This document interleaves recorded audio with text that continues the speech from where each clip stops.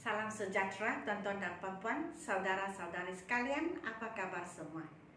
Nama saya ialah Dr. Lee dan saya berasal dari Bukit Metajam seberang Perai. Dan kini saya tinggal di Kluang Johor. Jadi uh, tuan-tuan dan puan-puan, selamat menyertai Dr. Lee's Method Book 2, Dui Bahasa. Sesi ini bab ke-18. Jikalau kamu telah membeli buku saya, maka kita sekarang berada di halaman 19, muka surat 19, yaitu possessive nouns. Possessive nouns artinya apostrophe, apostrophe, v, v, ataupun of the. Dalam bahasa Melayu yang uh, saya akan terangkan kalau dalam bahasa Melayu Possessive nouns artinya kepunyaan. Kepunyaan binatang, kepunyaan uh, orang manusia.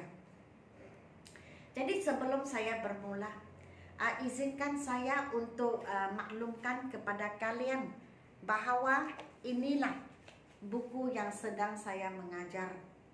Buku ini level 2, tahap lebih uh, uh, susah daripada level 1. Level 1 itu agak basic, tapi bukan basic juga jikalau kamu uh, menonton uh, YouTube channel saya. Saya juga mengajar buku ini level 1. Kesemuanya 38 bab. Kamu carilah cabaran 38 hari di mana saya telah memuat naik uh, video-video uh, dari bab 1 hingga bab ke-38. Setiap muka surat, setiap soalan. Dan saya telah memuat naik video-video saya di YouTube channel dalam tiga bahasa, yaitu bahasa Cina, bahasa Melayu, bahasa Inggris. Oke, dan level 2 lebih susah daripada level 1. Ini sangat sesuai untuk uh, sesiapa juga yang ingin menguasai tata bahasa ataupun grammar.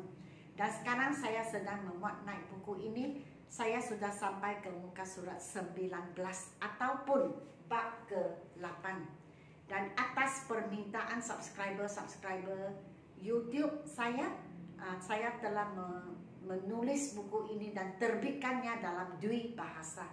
Maksudnya dalam bahagian penerangan saya menggunakan bahasa Melayu dan bahasa Inggris. Dan sekarang saya sedang memuat naik setiap muka surat, setiap soalan buku ini kesemuanya 40 bab, 40 lessons. Dan uh, kali ini dalam YouTube channel saya, saya hanya uh, memuat naik dalam versi bahasa Melayu. Saya tidak gunakan bahasa lain sebab saya yakin semua orang memahami bahasa Melayu. Jadi saya maknai dalam satu bahasa sahaja buku ini. Hari ini kita di halaman 19, muka surat 19. Jikalau kamu mempunyai buku ini, sila buka ke muka surat ataupun halaman 19. Possessive nouns. Maksudnya kepunyaan. Digunakan uh, apostrophe ya. Macam koma tetapi di atas uh, di Ah, di atas garisan. Kalau di bawah garisan kita panggil koma. Bahasa Melayu, bahasa Inggris, koma. Jadi sebelum saya bermula, saya ingin memaklumkan kepada kalian tentang uh, buku kedua-dua buah buku ini yang telah saya terbitkan. Jikalau kamu ingin membeli kedua-dua buah buku ini, sila WhatsApp kepada saya 019 7878 299. Dan jikalau kamu atau kalian ingin mempelajari pertuturan Inggris, uh, sila ke TikTok saya. Oke, okay? dalam bentuk pendek ya, video-video yang pendek, klip-klip yang pendek. Ini adalah kedua-dua akaun saya dalam TikTok. Jadi saya uh, mengalu-alukan kalian untuk menonton TikTok saya. Dan di bawah ini uh, saya buka saya buka kelas latihan guru-guru.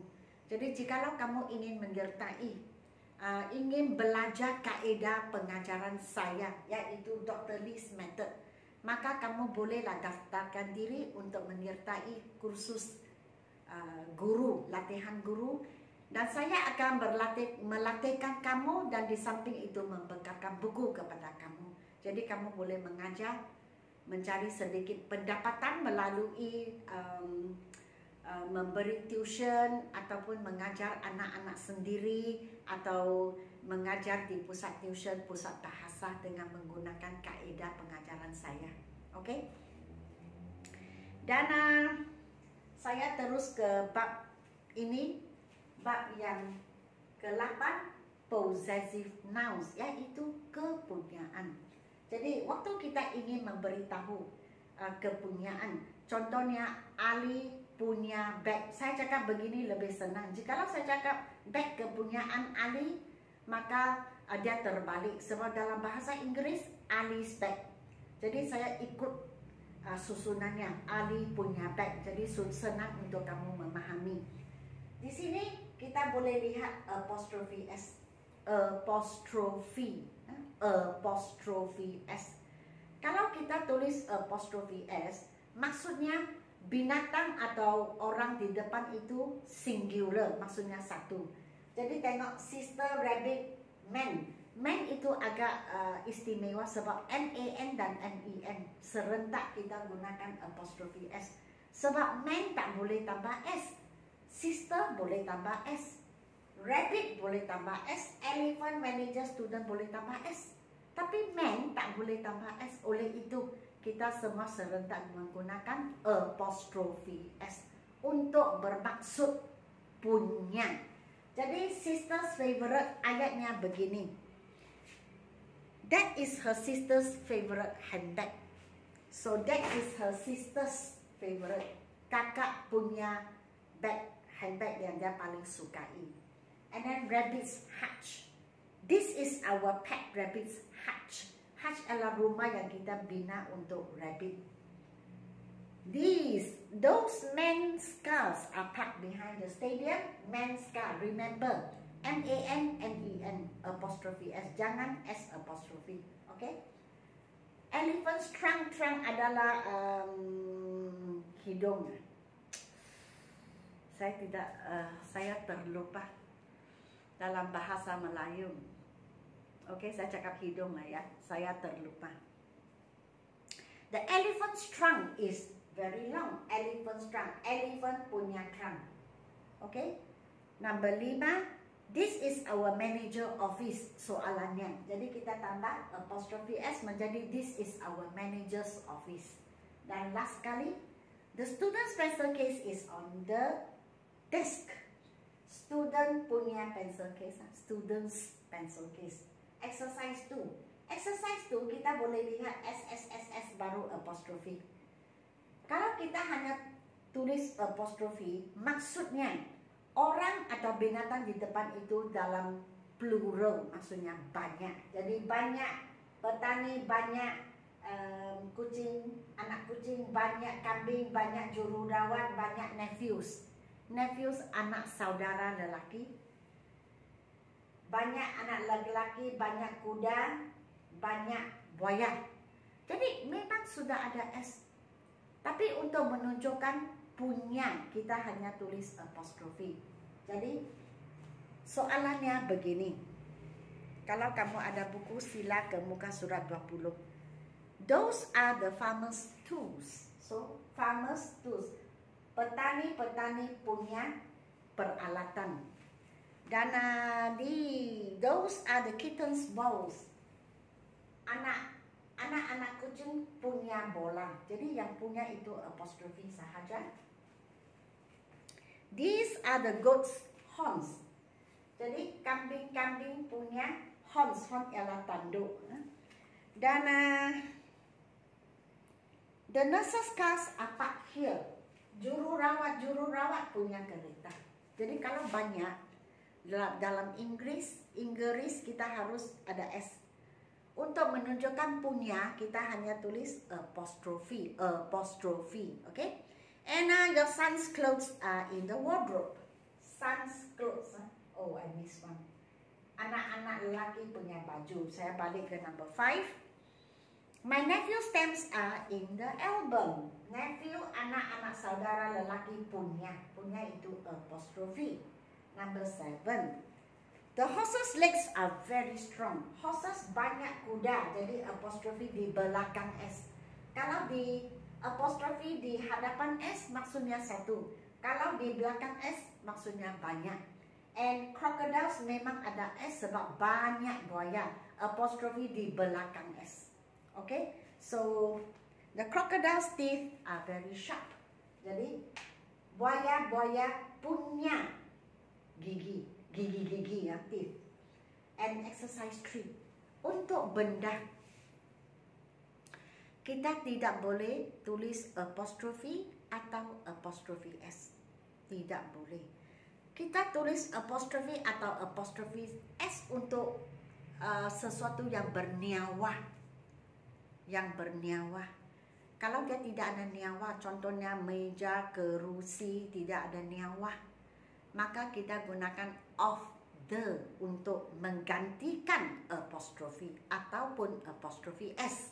Jadi kita boleh lihat exercise 3. This is the handphone's case. Boleh atau tidak? Tadi saya telah mengajar kalian bahawa handphone itu tidak bernyawa.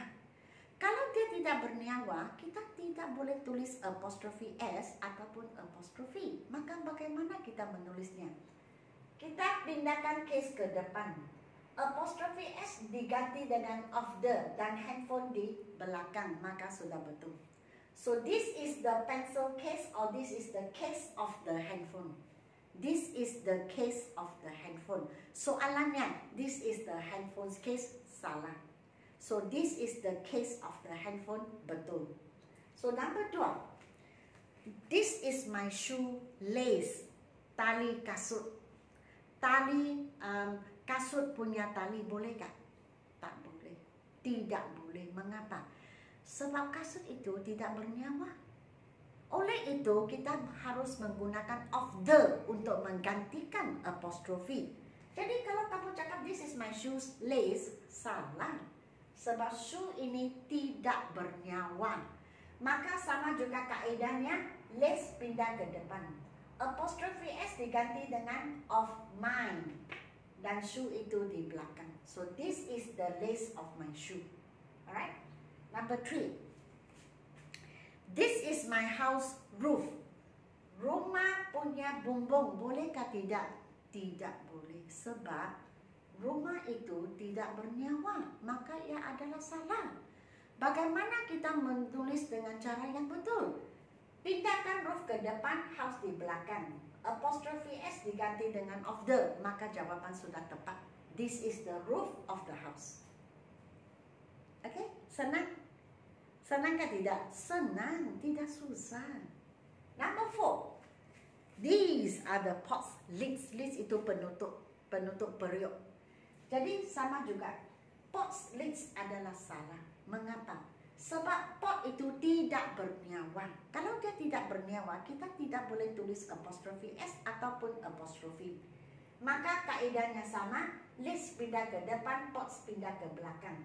Apostrophe S digantikan dengan of the, maka jawaban sudah betul. Sebenarnya begini.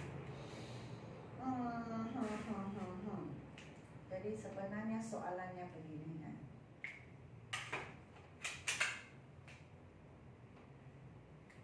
So sama juga Pots pindah ke belakang, lids pindah ke depan, apostrophe digantikan dengan of the, maka jawaban sudah tepat.